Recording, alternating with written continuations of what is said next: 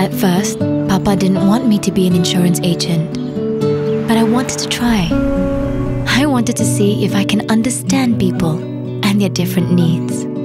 Some days, it's hard. I want to give up, but I think of my children, my customers. I work harder. Things changed when my cousin got very ill.